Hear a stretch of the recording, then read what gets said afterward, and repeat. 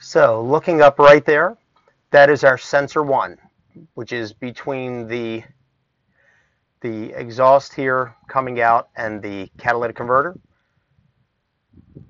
So this right here would be bank 2 sensor 1. If we come past the catalytic converter, this one's a little bit different. It's mounted up top. On the driver's side, it was around the back and on the bottom of the pipe.